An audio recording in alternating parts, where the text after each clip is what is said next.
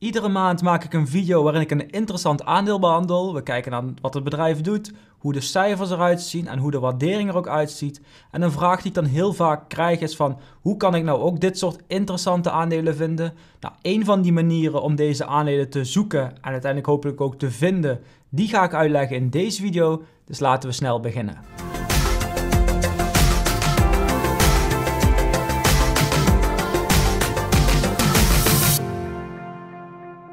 Je kijkt naar weer een nieuwe video van een passiefinkomen.nl waar we in deze video's gaan kijken naar aandelen voor de lange termijn. Juist omdat er nu heel veel ja, nieuwe kanalen komen die vooral ja, beleggen een beetje de hype achteraan gaan. Eerst was dat beleggen in aandelen, nu is dat vooral beleggen in crypto ook ik behandel dat wel een beetje, vooral op het tweede kanaal voor de mensen die wat actiever daarmee bezig willen zijn. Er is natuurlijk vraag naar deze content, maar het is denk ik niet het meest interessante en zeker niet voor de meeste mensen. Dus daarom wil ik op dit kanaal en juist in deze video dus ook op zoek gaan naar ja, eigenlijk een manier uitleggen zodat jij zelf op zoek kunt gaan en zelf deze interessante aandelen kunt vinden waarin je kunt beleggen juist voor de lange termijn. Want je wilt het misschien niet graag horen, maar saai beleggen is waarschijnlijk de ja, beste manier om te beleggen en rendementen te maken op de lange termijn. Op mijn tweede kanaal heb ik dat afgelopen week nog besproken in een video, waarin ik zelf ook steeds meer op zoek ga, een beetje wegstap van de hype en juist op zoek ga naar solide, grote, bekende namen waar je toch mooie rendementen mee kunt maken. Zelf is dat voor mij Apple en Microsoft bijvoorbeeld. En in deze video ga ik dus uitleggen wat een van die manieren is om die aandelen te zoeken. Aandelen die je zelf kunt zoeken, aandelen die aan jouw voorwaarden voldoen. Dus geef een duimpje omhoog als je ook op zoek bent naar aandelen, goede aandelen voor de lange termijn en natuurlijk om het kanaal te helpen. En laten we dan beginnen met Finvis. Dat is een van de websites die je kunt gebruiken om de juiste aandelen te vinden.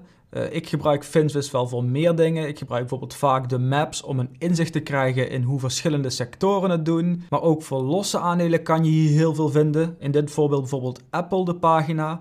Nou, bovenin zie je een grafiek van de koers met verschillende indicatoren. Geeft een wat, ja, je ziet al duidelijker zonder dat je met grafieken bezig bent welke kant het op gaat. Juist al die extra lijntjes wel, dat vind ik wel fijn. Uh, daaronder vinden we heel veel belangrijke cijfers van het bedrijf. Dus eigenlijk een tabel waarin alle belangrijke cijfers en ratio's bij elkaar komen. En daaronder zie je nog de koersdoelen en het laatste nieuws. Maar het is dus eigenlijk die tabel met cijfers en ratio's waarin we geïnteresseerd zijn. Nou, nou kunnen we niet voor ieder bedrijf de pagina gaan opzoeken, de tabel gaan bekijken en als dat niet goed is, doorgaan naar het volgende bedrijf. Daarom gaan we juist gebruik maken van de screener. En dat is dan eigenlijk gewoon een aandelenscreener. Nou, Finvis is niet de enige website met een aandelen- of stockscreener, zoals ze het ook vaak noemen. Heb je bijvoorbeeld TradingView, ook TradingView heeft een screener. Of denk bijvoorbeeld aan Yahoo Finance die dat heeft, waar zelfs Yahoo al een paar screeners eigenlijk heeft voorgeprogrammeerd, al een paar ja, eigenschappen, filters heeft toegevoegd. Maar wij gaan in deze video dus vooral kijken naar de Finvis screener. En vind je nou straks een aandeel interessant en wil je beginnen met beleggen? Nou kijk dan eens naar de Giro, dat is de broker waar ik gebruik van maak voor mijn aandelen. Net zoals 1 miljoen anderen en heel veel mensen in onze community. Via de link onder de video kun je daar gratis een account openen bij de Giro. En je helpt op die manier ook nog eens het kanaal. Dus dat waardeer ik enorm. En trouwens, ben je nog niet geabonneerd? Nou, abonneer dan op het kanaal om nooit meer een video te missen. We zijn inmiddels de 35.000 abonnees gepasseerd. Dus laten we vooral richting die 40.000 gaan. Maar als we dus naar de website van Finvis gaan, dan hebben we hier bovenaan de screener. Ik zal trouwens ook een link naar deze pagina en naar die andere die ik zojuist besproken heb ook onder de video plaatsen. Kun je alles nog eens rustig uh, nakijken. Uh, maar hier zie je dus eigenlijk de screener en die heeft op dit moment een toepassing, zeg maar iets meer dan 8000 aandelen die hierin zitten. En hier bovenin heb je eigenlijk verschillende tabbladen. Uh, dit zijn opgedeeld en het vierde tabblad bevat eigenlijk gewoon alle filters. Wordt het een beetje veel, dus uh, laat ik vooral laten zien van waar ik op let. Per tabblad leg ik een beetje uit wat zo'n filter doet of welke ja, we tegenkomen. En hoe je op die manier dus langzaamaan uh, aandelen uitsluit die niet aan jouw voorwaarden voldoen, waardoor automatisch de aandelen die wel aan jouw voorwaarden voldoen overblijven in de hoop dat je op het einde een selectie hebt gemaakt van 10, 20 aandelen, ik noem maar iets. En daaruit ga je dan de volgende stap nemen, maar heb je in ieder geval het aantal van 8000 aandelen al teruggebracht naar een, ja, een kleiner gedeelte, wat ook gewoon makkelijker is, omdat je weet, dit zijn interessante aandelen, maar welke is het meest interessant? Want je kunt vaak ook niet in allemaal investeren. Nou, zoals gezegd, ga ik er gewoon bovenaan beginnen en een paar dingen uh, aanvinken. De exchange, hier kun je vaak kiezen of het Amerika is en zo, maar dat laat ik gewoon algemeen. Hetzelfde geldt voor index. Je kunt een bepaalde sector kiezen als je nou bijvoorbeeld in energy wil of in financial. Uh, en zo kun je eigenlijk steeds meer dingen ook de country doen. Wat ik vooral vaak interessant vind is om te beginnen met een market cap. Hier kun je zien bij uh, mega of mega 200 miljard of meer. 10 tot 200 miljard. Uh, zelf vind ik wel minstens 10 miljard. Vind ik wel interessant. Kan ik zeggen bijvoorbeeld 2 miljard. Maar dan gaan we hier naar beneden. En laten we zeggen voor plus large, oftewel meer dan 10 miljard aan market cap. Waardoor de wat kleinere bedrijven worden uitgesloten. En zo zie je al meteen van de 8000 blijven er net geen 900 over. Nou, gaan we naar dividend yield, oftewel wil jij een bedrijf een aandeel zoeken wat ook dividend uitbetaalt. Ehm, je zou bijvoorbeeld zeggen positief of heel erg veel dividend. Nou, op dit moment is het voor mij niet zo heel ja, belangrijk, vind ik vaak zelf. Maar laten we even zeggen dat het positief is. Kijk, dan gaat het al terug naar de 600. Is een aandeel veel geshort? Of wat zeggen uh, analisten? Je kunt bijvoorbeeld zeggen strong buy, dat heel erg wordt aangeraden. Zelf zou ik kiezen bijvoorbeeld voor uh, buy or better. Dus in ieder geval dat analisten al zeggen van het is waarschijnlijk een interessante aankoop. En zo kun je nog wat extra dingen doen. Je kunt het volume, ook dat is vaak interessant, dat je wel aandelen koopt. Um, dat heb je al vaak wel bij aandelen met een grote market cap, um, grote marktwaarde. In ieder geval dat het veel verhandeld wordt. Dat mocht je het willen verkopen ooit, dat er ook genoeg vraag is dat mensen, ja, dat jij gewoon je aandeel weer makkelijk kunt verkopen.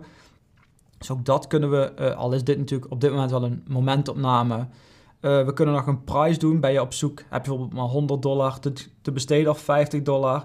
Wil je niet de aandelen kopen die 6, 7, 800 dollar per stuk zijn, kun je dat hier ook nog invullen. En we kunnen ook een target prijs, dat vind ik zelf wel interessant. Uh, wat geven analisten aan van een koersdoel en hoeveel procent ligt die boven het huidige koers, boven de huidige prijs? Nou, ik zou zeggen uh, 10% or above, of eigenlijk 20% above price. Oftewel, we hebben nog 20% hoger koersdoel dan de koers nu. Waarom kies ik voor 20%? Um, ehm, als je voor lager gaat en bijvoorbeeld voor 10% gaat, is het dan niet verstandiger om gewoon marktbreed in een ETF te investeren, minder risico te lopen en dan heb je vaak ook 7, 8% op de lange termijn. Dus als je een specifiek aandeel wil kiezen, loop je meer risico, wil ik ook meer rendement maken. Dus laten we zeggen 20% of meer. En dan zijn het in één keer nog maar 4. En ik zie dat ik hier het average volume uh, in plaats van ja, boven een bepaald ding heb ik het onder. Dus laten we zeggen dat we minstens 500.000 uh, aandelen transacties per dag willen hebben. Nou, kijk, dan blijven de 40 over. Al een heel stuk teruggebracht. En dat is puur op het eerste uh, tabblad. Trouwens, een heel belangrijk is ook nog de IPO-date. Wil je nou juist die aandelen, die hype-aandelen die misschien het laatste jaar wel op de beurs zijn gekomen met een beursgang uitsluiten, dan kun je hier natuurlijk zeggen dat de IPO-date al uh, meer dan een jaar geleden is, waardoor je eigenlijk die laatste dingen allemaal uitsluit. Blijven er 38 over. Dan gaan we naar het volgende tabblad en dat zijn de fundamentals, oftewel vaak de ratio's op basis van uh, de balans, de winst- en verliesrekening. En laten we hier even snel doorheen gaan. Willen we een PE-ratio? Nou, we willen in ieder geval zorgen dat het bedrijf winst maakt. Dus laten we even zeggen profitable. Uh, we willen een forward PE, is het voor het volgende jaar, maakt op zich niet zo heel veel uit. Een PEG ratio, dat is price to earnings to growth. Oftewel, hier wordt ook de groei nog meegenomen. Um, dan kun je zeggen, um, ja, ik wil een laag, ik wil high, ik zou hem onder de 2 doen. Dat je in ieder geval niet al te veel overbetaalt. Onder de 1 is het ondergewaardeerd. Uh, onder de 2 is dus een beetje in de buurt. Wil je nog price to sales, price to book. Zo kun je eigenlijk allemaal dingen dus aanvinken. Je kunt zeggen, wat moet de winst per aandeel zijn, de groei van dit jaar? Is dit jaar natuurlijk wel een beetje een vertekend beeld in verband met corona? Wat is de verwachting voor de groei, de winst per aandeel de komende vijf jaar? Nou, laten in ieder geval zeggen dat het positief is, dat het in ieder geval uh, de komende jaren nog gaat groeien. Uh, je kunt ook vaak filteren op return on assets, return on equity. Dus moet het bedrijf winst maken op bijvoorbeeld het geld dat aandeelhouders erin steken. Laat ik hier eventjes uh, buiten beschouwing. Daar kun je zelf, ja, wat je zelf van mening bent. Wat vaak wel interessant is, bijvoorbeeld marges. Wil je in ieder geval al bedrijven kiezen die een goede marge, een goede bruto marge hebben, goede operating marge of misschien wel een goede winstmarge hebben. Uh, dat kun je hier al meteen uitfilteren, waardoor je juist die bedrijven die nu geen winst maken of lage marges hebt, er hier al uit kunt filteren. Dus je zou bijvoorbeeld kunnen zeggen, ik wil in ieder geval een net, uh, ja, netto winstmarge van meer dan 10%. Nou, dan blijven al in één keer nog maar 6 aandelen over. Het laatste tabblad is de technical. Dat is vaak ja, wat meer met wat je ziet bij grafieken. Hier zou je bijvoorbeeld kunnen doen van uh, de performance. Het moet de laatste maand ja, juist in de plus staan of in de min, zodat je misschien wel kunt profiteren van dat het net het, wat is gedaald de laatste tijd bijvoorbeeld. Of wat je vaak bij grafieken ziet, is dat de 20-day moving average in principe boven de 50-day moet liggen. Dat je eigenlijk, dus ja, dat het de laatste tijd gewoon beter gaat dan het gemiddelde van de laatste 50 dagen. Dus dat soort dingen kun je hier aangeven, waardoor je snel dingen uit kunt filteren. Um, ja, zelf vind ik de beta vaak belangrijk. Uh, hierin kun je zien of een bedrijf hoe ja, gevoelig is het, hoeveel volatiliteit heeft het ten opzichte van de markt. Laten we even zeggen dat we dat onder de 2 willen hebben. En ik moet zeggen onder de 2 en die staat daar. En dat zijn ze alle zes trouwens ook. Waarschijnlijk ook wel omdat we juist met uh, ja, bedrijven te maken hebben met een heel erg grote market cap. Maar in ieder geval, zo zie je dat er heel veel dingen zijn die je aan kunt vinken. Het mooie is als je trouwens, uh, er komt, ja, op basis van de filters die je nu maakt, komt er een URL die past zich aan. Die zou je in je favorieten kunnen zetten. Maar je kunt natuurlijk ook gratis een account aanmaken, waardoor je dit soort dingen op kunt slaan. kun je meerdere uh, van dit soort screeners opslaan. Dus misschien eentje voor grote bedrijven, misschien juist één voor kleine bedrijven. Voor aandelen wat je wat meer risico wilt nemen, zodat je ze snel uitgefilterd krijgt. En zo krijg je ook altijd ja, de informatie van het laatste moment. En zo zie je dus dat van die 8000 aandelen die we eerder hadden, er nu nog 6 aandelen overblijven. Waarvan ik er toevallig de eerste twee in bezit heb. Ik heb Apple en ik heb Barrick Gold. Volgens mij allebei sta ik ook in de plus, dus dat is positief. En dit is dus een heel erg makkelijke manier om in ieder geval vast heel veel aandelen weg te filteren die niet voldoen aan jouw eisen, aan jouw voorwaarden. En dus zou je nu op dit moment kunnen denken van, oh, dit zijn de bedrijven die wel voldoen aan mijn voorwaarden. Deze zijn mogelijk interessant. Ik kan er maar in één of maximaal twee investeren. Laat ik deze zes allemaal gaan bekijken om te zien wat is het meest interessant. Uh, om daar vervolgens wel in te investeren. Nou, zoals straks gezegd, we hebben bijvoorbeeld Apple. En zo zie je weer, zo kom je op die pagina. Zo kun je kijken hoe gaat het met die grafiek. Hoe ziet het eruit? Uh, wat zijn nou precies die cijfers waar ik gefilterd heb? Kan ik die misschien vergelijken met het andere bedrijf? Ik noem maar iets Barrick Gold dat er ook tussen stond. En wat denken analisten? Wat is het laatste nieuws? En op basis van deze informatie kun je misschien nog wat extra onderzoek doen of kun je al tot een besluit komen.